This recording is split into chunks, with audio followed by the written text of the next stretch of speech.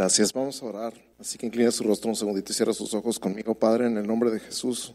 Una vez más, te damos gracias por todo lo bueno que tú has sido con nosotros, tus maravillas y todas las cosas fabulosas que nos has permitido ver, experimentar y aprender de tu palabra en estos días, Señor. Queremos profundizar una vez más en tu palabra en esta hora y tomar algo que podamos aprender y aplicar en nuestra vida diaria. Toma el control de este tiempo, lo rendimos una vez más delante de ti, en el nombre de Cristo Jesús. Amén. En un segundito y ponemos esto para no pasarnos con el tiempo.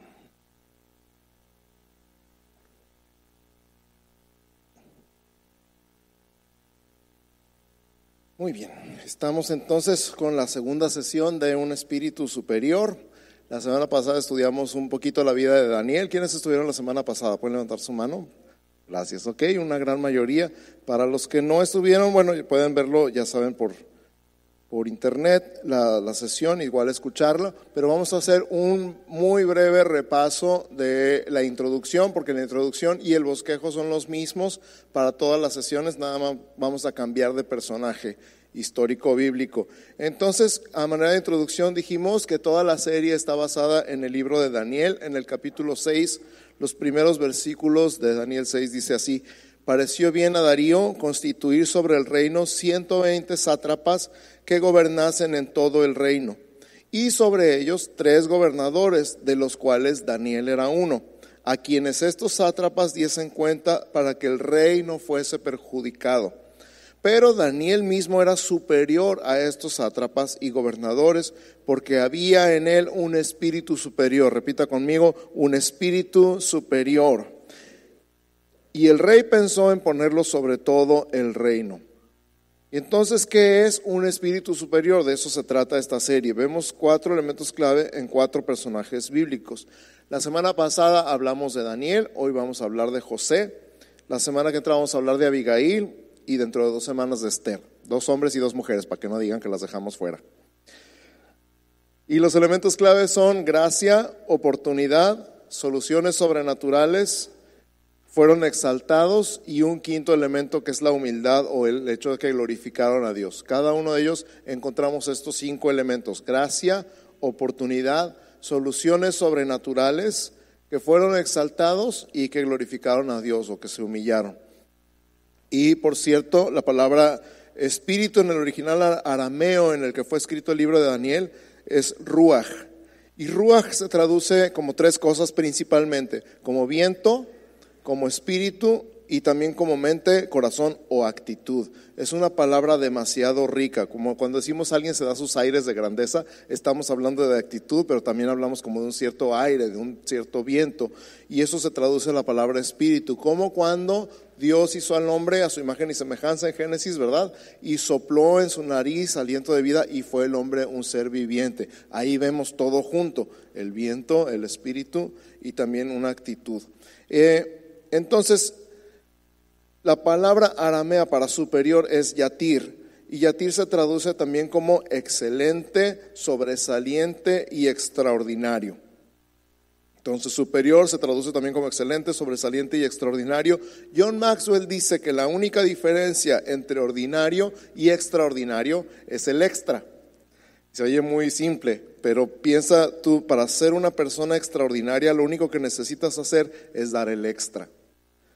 Un poquito extra de tu tiempo, un poquito extra de tu esfuerzo, un poquito extra de tu energía y te conviertes automáticamente en una persona extraordinaria.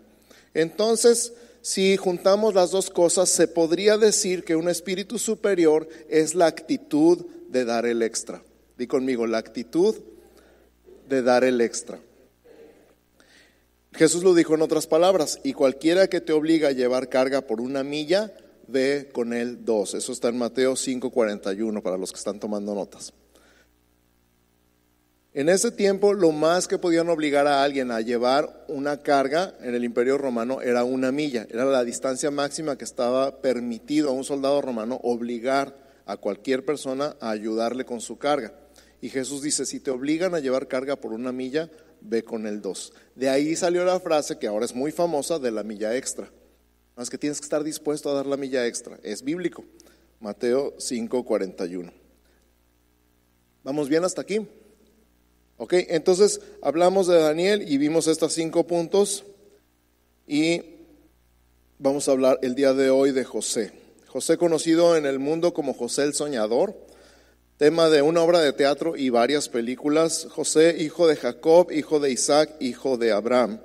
Nació de Raquel, la esposa por la que su papá trabajó originalmente siete años para su suegro. Yo no sé si te ha tocado trabajar para tu suegro, mejor no voy a decir nada al respecto. Por esta razón José era el hijo favorito de Jacob, a quien Dios cambió el nombre por Israel, padre de la nación que hasta hoy lleva su nombre. Y por eso mismo sus hermanos lo aborrecían.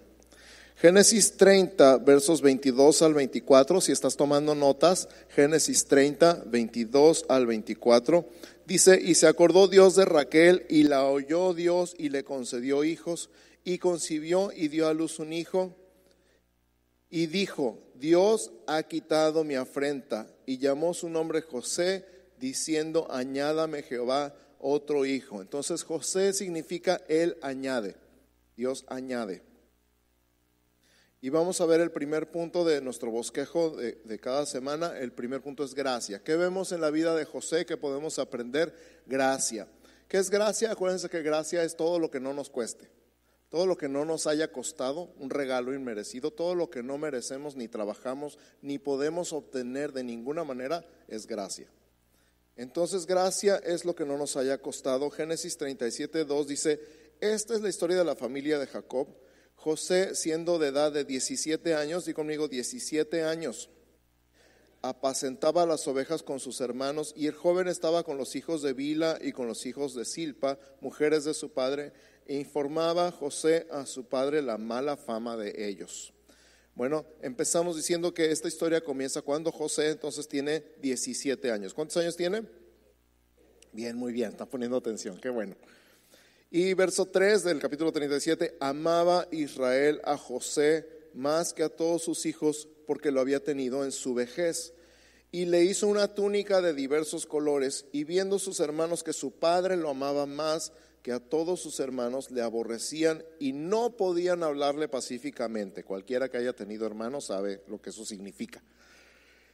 Entonces, ¿qué hizo José para recibir una túnica de diversos colores? Nada. Ser hijo de su papá. Ser el hijo favorito. Ahora sí que soy hijo del papá, decía.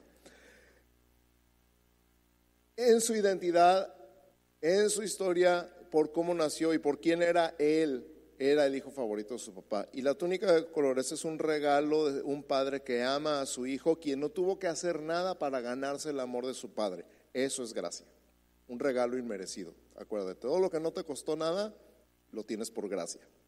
Entonces, el, vemos la gracia desde el amor del papá por su hijo y vemos la gracia en el regalo. Ahora, verso 5, soñó José un sueño y lo contó a sus hermanos y ellos llegaron a aborrecerle más todavía. ¿Por qué Dios le habló a José en un sueño? Por gracia. ¿Quién era José para recibir un sueño de parte de Dios que hablara acerca del futuro? Nada, nadie. Él no era nadie y no era por eso, por quién era, era por quién era Dios o por quién es Dios. Dios decidió darle un sueño a José. Y todas las historias de la Biblia empiezan con Dios y terminan con Dios. Y eso es un marcador importantísimo en nuestra vida. Nada en la historia de la, Biblia y ni siquiera en la historia de nuestra vida comienza con que nosotros buscamos a Dios. La verdad es que Dios nos buscó a nosotros primero. En todas las historias bíblicas y en la historia de tu vida, si te pones a pensar, tú no estabas buscando a Dios, Dios te encontró a ti. El que estabas perdido eras tú de todas maneras, no Él. Entonces, de la misma manera, el sueño de José es un sueño recibido por gracia. Génesis 39, 1. Si estás tomando notas, Génesis 39, 1. Llevado pues José a Egipto, Potifar, oficial de Faraón, capitán de la guardia, varón egipcio, lo compró de los ismaelitas que lo habían llevado allá. Mas Jehová estaba con José.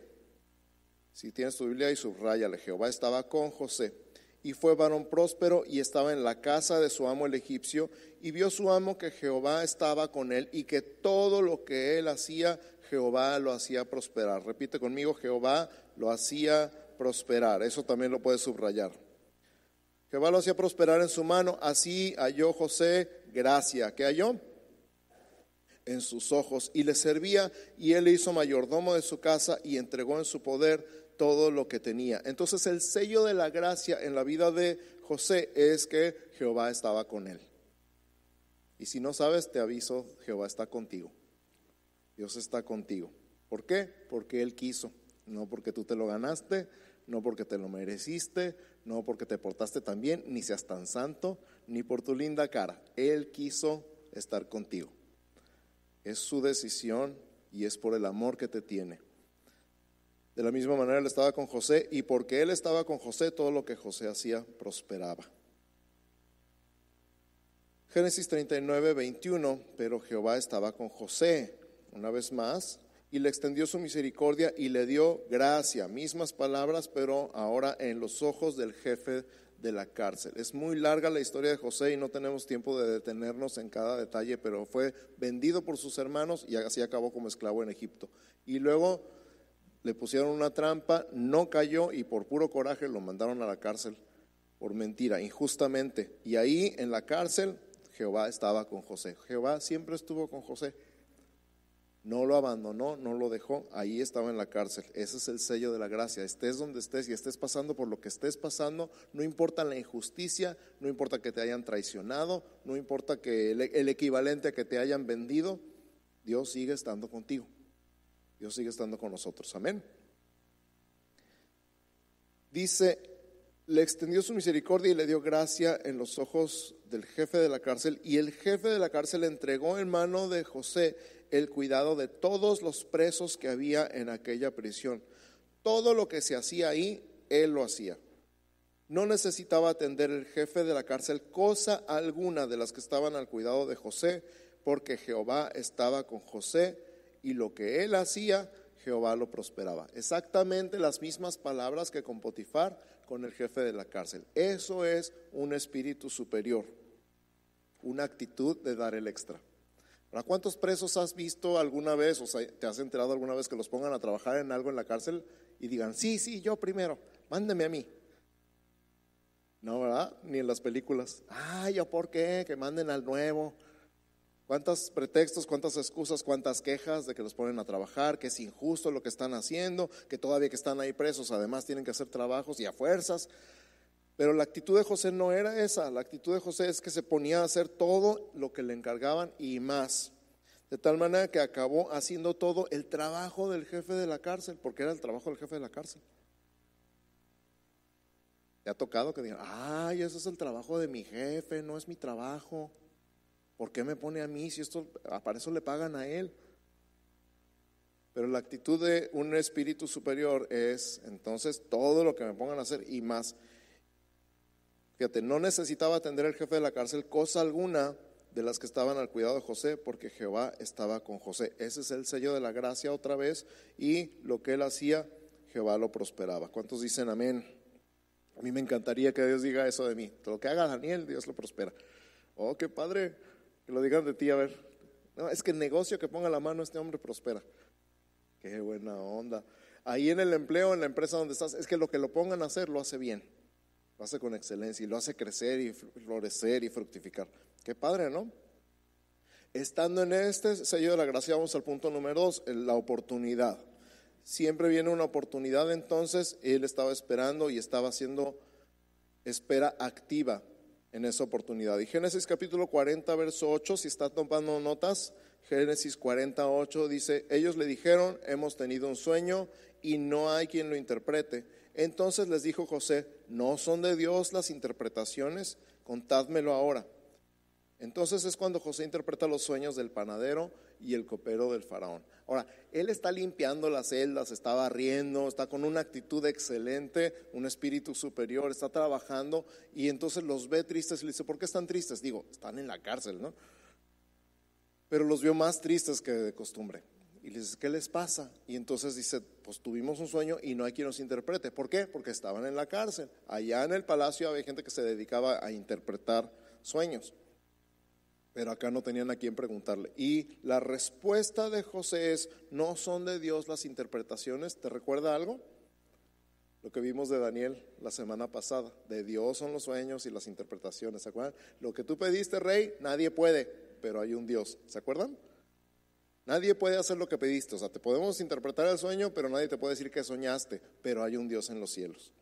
La misma respuesta de Daniel es la misma respuesta de José. No son de Dios las interpretaciones, contádmelo ahora. Entonces ya que le cuenta los sueños y le dice que uno de ellos va a ser restituido a su puesto, en el verso 14 de Génesis 40, él le dice, acuérdate pues de mí cuando tengas ese bien, y te ruego que uses conmigo de misericordia y hagas mención de mí a Faraón y me saques de esta casa, porque fui hurtado de la tierra de los hebreos y tampoco he hecho aquí porque me pusiesen en la cárcel. Te encuentras a alguien que tiene cierta influencia te encuentras a alguien que a lo mejor te puede echar la mano, a lo mejor te puede ayudar. ¿Y qué es lo primero que haces? Pues le das tu tarjeta, ¿no? O le dices, habla de, mí a tu jefe. Sobre todo si andas buscando trabajo o estás en un pleito legal injusto. Dices, no, pues fulano, yo trabajo con Perengano. Ay, pues ayúdame, preséntame, háblale de mí. Y esto es lo que hizo José, aprovechó la oportunidad. Independientemente de que interpretó el sueño, dijo, pues ahora platícale de mí a tu jefe.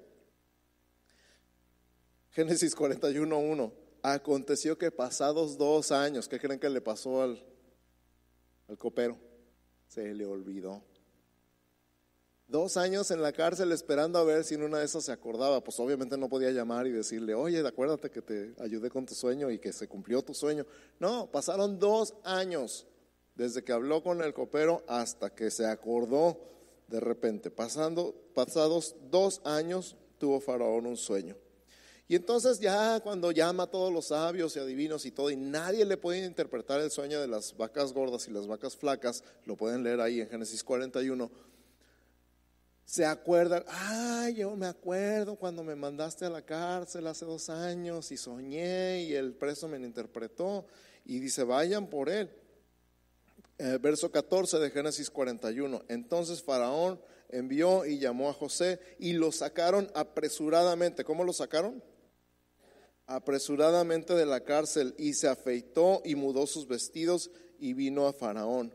Y dijo Faraón a José, yo he tenido un sueño y no hay quien lo interprete, mas he oído decir de ti que oyes sueños para interpretarlos. ¿Te acuerdas de Daniel también?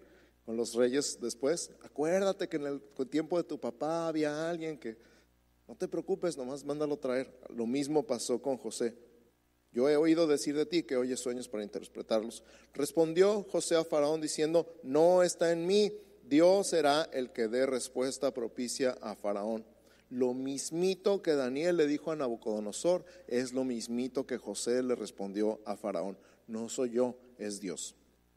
Lo que tú estás pidiendo no es humanamente posible, pero Dios no es humano.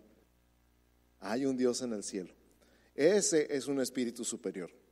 Esa es una actitud de, decir, ay, no se puede, no, pues está bien difícil, no, pues así como, que es lo normal.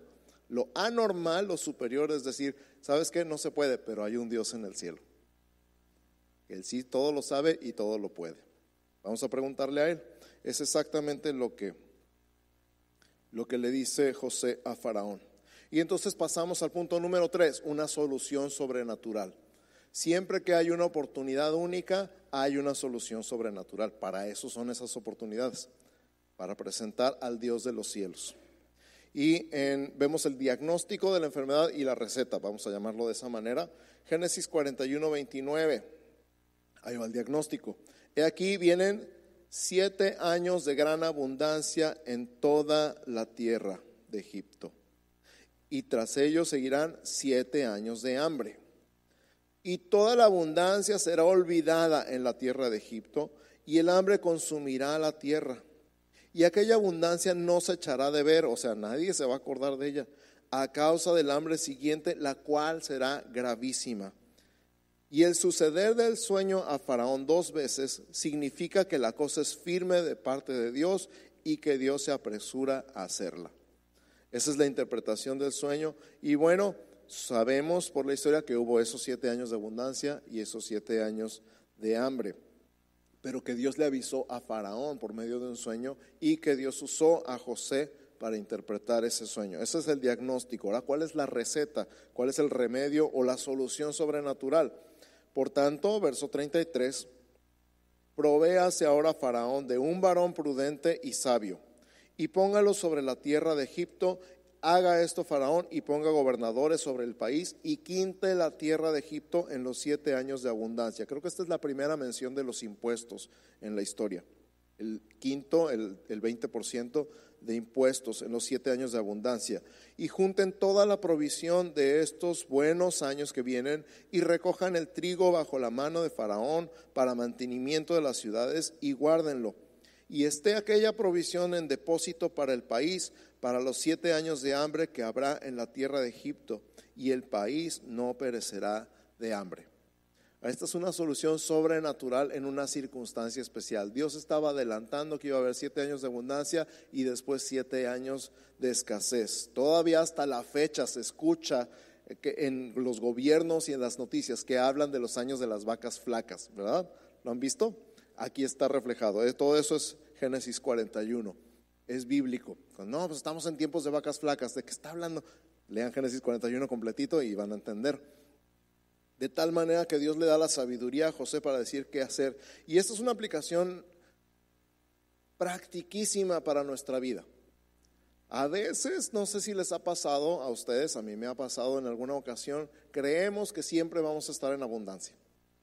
Creemos que siempre va a haber buenos tiempos y que nunca va a haber malos tiempos. Y cuando nos llega un dinerito extra, ya no sabemos qué hacer para gastárnoslo.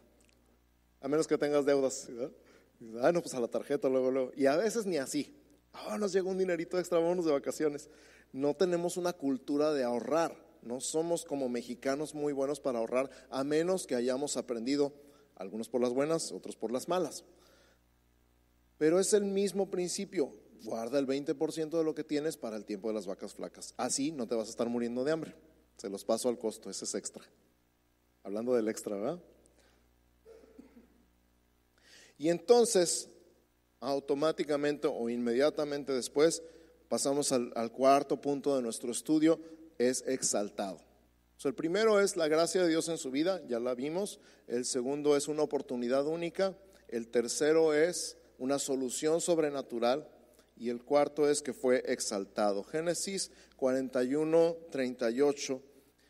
Y dijo Faraón a sus siervos, ¿acaso hallaremos a otro hombre como este en quien esté el Espíritu de Dios, fíjate, en quien esté el Espíritu de Dios, una vez más, igual que con Nabucodonosor, un pagano reconociendo que alguien tenía el Espíritu de Dios.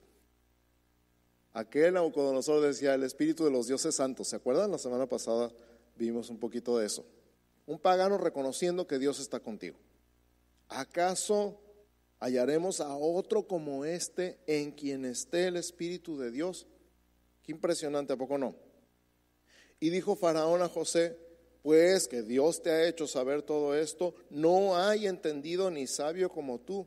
Tú estarás sobre mi casa y por tu palabra se gobernará todo mi pueblo, solamente en el trono seré yo mayor que tú. Ahí está José siendo exaltado por la solución sobrenatural que presentó para salvar una nación completa. Y entonces Pausa. La semana pasada dijimos que como Cristo no había venido al mundo y no había muerto por nosotros y no había sido glorificado, el Espíritu Santo no moraba en ninguna persona. Pero ahora tú y yo sí tenemos al Espíritu Santo morando en nosotros. Entonces, si esto es una cosa de actitud y de simplemente reconocer a Dios en todos sus caminos, y poner a Dios primero en todo y que Dios sigue siendo el que da soluciones sobrenaturales, con mayor razón para ti y para mí son esas soluciones sobrenaturales en las cosas cotidianas de la casa, del trabajo, del negocio, de la familia. Y platicábamos la semana pasada, que a mí me da tanta risa que la pastora Rita dice una y otra vez, ¿verdad? ¿tú crees que el Espíritu Santo no sabe dónde dejaste las llaves? Súper práctico y súper simple, pero no le preguntamos. Ahora, con mayor razón, ¿qué hacer con nuestros hijos? ¿O qué hacer con nuestro esposo o nuestra esposa o nuestro jefe? ¿O nuestros clientes o nuestros proveedores? si lo primero que hiciéramos es como José, no se puede, pero hay un Dios en los cielos. Yo no sé, pero vamos a preguntarle al Señor. Esa es la actitud de un espíritu superior y por eso mismo gente que tiene temor de Dios es exaltada en la sociedad. Y al, decir ser exaltado no me refiero a que, wow, todo el mundo te conozca y salgas en la tele y en el periódico. Simplemente ser puesto en posiciones de influencia por la sabiduría que obviamente las personas que no tienen a Dios no pueden tener. Una gran diferencia entre una inteligencia natural y una sabiduría sobrenatural. Imagínate personas con sabiduría sobrenatural en el gobierno de nuestro país. Imagínate personas con sabiduría sobrenatural en todas las instituciones de gobierno a nivel municipal, estatal y federal. Lo que sería de esta nación, ¿verdad? Vamos orando por eso, pero vamos preparando también. ¿Ya estás listo para que te llamen para un cargo público? ¿Estás preparado? Pues la Biblia dice que sí, porque ya tienes un espíritu superior. Vamos ahora a echarle ganitas al estudio. Entonces, después que fue exaltado, vamos a pasar a el punto número 5 que es glorificó a Dios. Di conmigo, glorificó a Dios. Entonces, número uno, vimos gracia en su vida. Número dos, una oportunidad única. Número tres, una solución sobrenatural. Número cuatro, fue exaltado. Y número cinco, glorificó a Dios. Vamos a ver cuatro pasajes donde José glorifica a Dios y le da el lugar a Dios en su vida como respuesta de todo lo que está pasando. En Génesis 41, 16, lo leímos hace ratito, respondió José a Faraón diciendo, no está en mí, Dios será el que dé respuesta propicia a Faraón. José nunca se pone el sombrero de mago y dice, yo le voy a sacar una solución ahorita de la manga sino dice, Dios es el que puede, Dios es el que sabe y Dios es el que nos va a decir cómo. Eso es glorificar a Dios. Verso 51 de Génesis 41 dice, y llamó José el nombre del primogénito Manasés porque dijo, Dios me hizo olvidar. Qué fabuloso. Génesis 41, 51. Di conmigo, Dios me hizo olvidar. Fíjate, todo mi trabajo y toda la casa de mi padre. Pausa. A la hora de glorificar a Dios, José no glorifica a Dios porque lo sacó de la cárcel, ¿te das cuenta? En este punto no está diciendo, gracias Dios porque me diste un empleo en el gobierno y en una posición bien acá.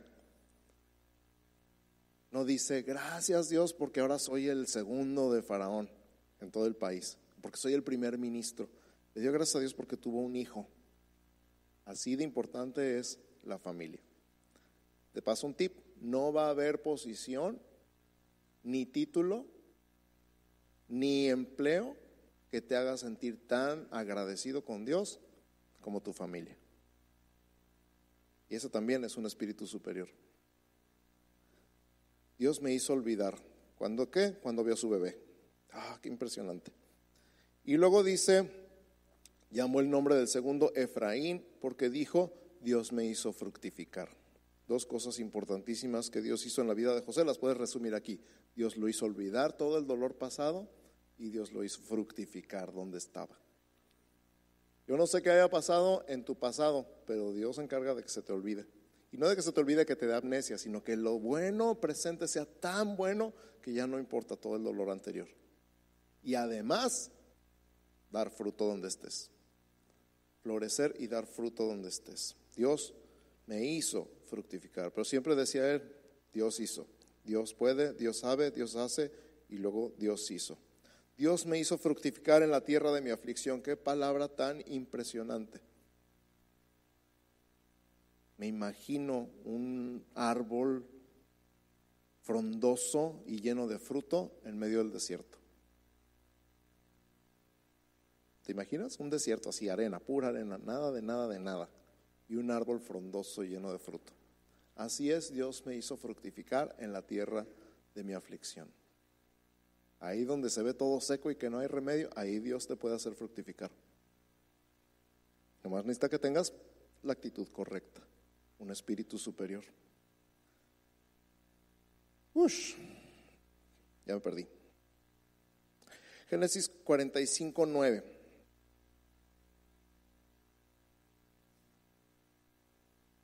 Ay, esto también me encantó. Ya cuando se revela a sus hermanos y les dice, todavía vive mi papá, él no lo podía creer, pensaba que su papá estaba muerto, les dice, vayan por él. Y en el 45.9 dice, daos prisa, id a mi padre y decidle, así dice tu hijo José, Dios me ha puesto por Señor de todo Egipto. ¿Quién me puso? Dios. Eso es glorificar a Dios. No que estudié, que le eché ganas y que salí adelante y que soy bien luchón. Dios me puso donde estoy. Dios me ha puesto por Señor de todo Egipto. Ven a mí, no te detengas, habitarás en la tierra de Gosén y estarás cerca de mí, tú y tus hijos y los hijos de tus hijos, tus ganados y tus vacas y todo lo que tienes. Ahí te alimentaré, pues aún quedan cinco años de hambre para que no perezcas de pobreza tú y tu casa y todo lo que tienes. Ahí estaba el propósito de todo lo que Dios hizo. Génesis 50, 20 una de mis frases favoritas de José. Vosotros pensasteis mal contra mí, mas Dios lo encaminó a bien, para hacer lo que vemos hoy, para mantener en vida a mucho pueblo. Wow. Esta frase la dice José cuando ya se murió su papá, después del funeral están los hermanos y, y se juntan y los hermanos dicen, ahora sí, ahora sí ya nos cayó el chahuistle. Ahora sí ya no está mi papá que nos defienda. Ahora sí nos va a ir como en feria. ¿Te imaginas? ¿Qué habrán sentido? Les dio pánico.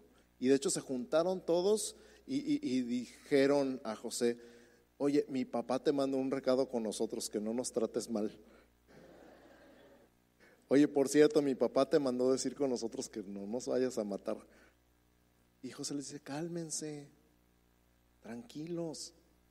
Dios volteó todo lo que ustedes pensaron de mal contra mí, Dios lo convirtió en bien.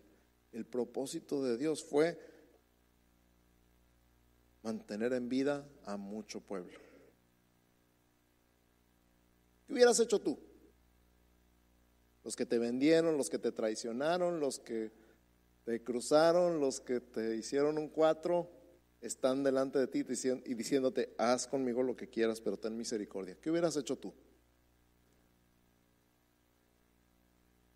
Y la pura sonrisita te delata. Y así los quisiera ver a mis hermanos. ¿Qué hubieras hecho tú? Pero él dijo, ustedes pensaron mal contra mí, pero Dios lo volteó todo para bien. Eso es un espíritu superior. Glorifica a Dios en todas las circunstancias y sale airoso, que también tiene que ver con aire y con actitud y con espíritu. Sale airoso en todas las circunstancias. Puedes decir, ahora viendo hacia atrás, tú puedes decir, han pasado cosas malas, pero Dios las volteó para bien. Puedes voltear hacia atrás y decir, he pasado por unas cosas bien intensas, pero al final Dios las convirtió en algo bueno. Entonces, ¿qué crees? Las que vengan, igual. Entonces, si Dios va a sacar algo bueno de todo esto. Dios es Dios, Dios sabe, Dios puede y Dios quiere. Así que al final no me va a morir. Dios va a sacar algo bueno de todo eso. Eso es el punto número 5. Glorificó a Dios. Y vamos cerrando este estudio de José.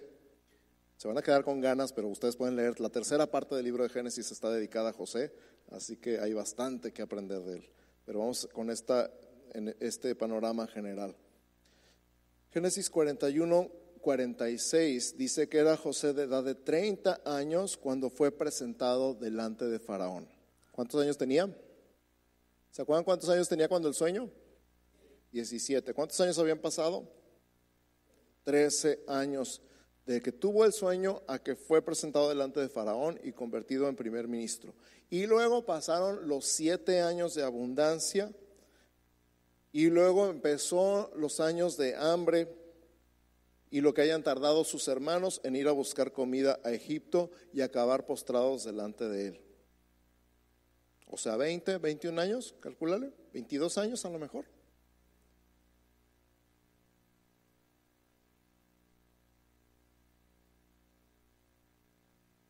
Íbamos, no, íbamos en 13 más 7.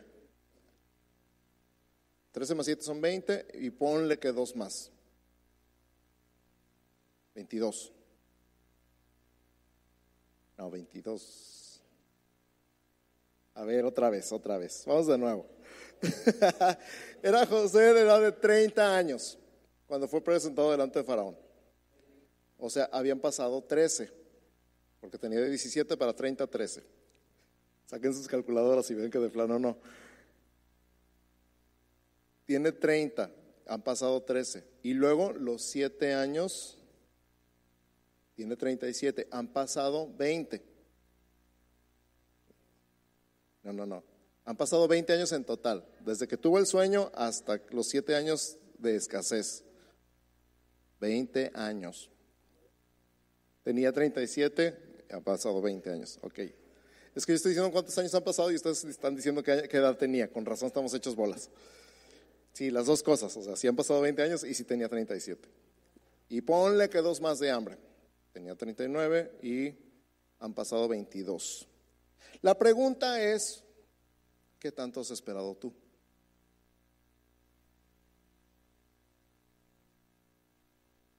La pregunta es, ¿qué tanto has esperado tú? Cuando Dios te dio una palabra, cuando te dio una visión, cuando te dio un sueño, cuando te dijo que te iba a usar, cuando te dijo que te iba a sacar adelante, cuando te dijo que iba a hacer grandes cosas. Y digo, no estás en la cárcel, por lo menos estás aquí. ¿Cuánto has esperado tú? Y no nada más cuánto has esperado, ¿Qué has hecho mientras esperas?